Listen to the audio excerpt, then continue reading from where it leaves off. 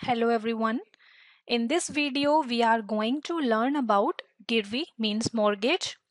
Girvi option mostly used in jewelry trade, but you can use this option according to your trade. Right now, we are giving you a demo on jewelry. First of all, let's know about Girvi. In Girvi, jeweler can provide amount for a particular period of time to any customer at any particular interest rate. For that, we have provided options here. First of all, let's talk about Group Master, where we assign the type of jewelry the customer is mortgaging, whether it is gold or diamond. Next is Bank Master. In Bank Master, you can create bank. Then in Terms and Condition Master, you can mention terms and conditions specific to any jeweler. After that, you can create product using item master option. The type of item customer is mortgaging. After that, using customer master option, you can save customer's name, father's name, address, phone number, email, etc. along with photo and ID.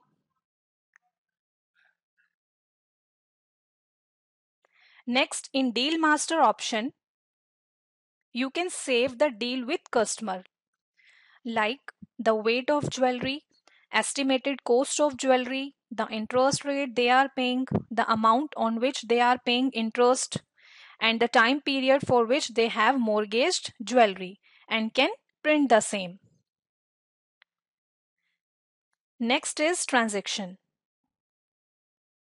If any customer arrives to pay interest, you can save the details using transaction option from which customer you have to take interest, the date on which it is due, and the amount to take using either cash or bank option.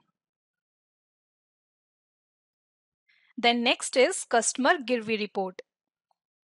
If you want to see report for any particular customer that how long the jewelry is mortgaged, you can view all such details using customer Girvi report and can also print the same. After that using Girvi stock report option, you can see stock report like the value of stock that is mortgaged, the amount of stock, the earlier and current value of stock. After this, daily cash management option.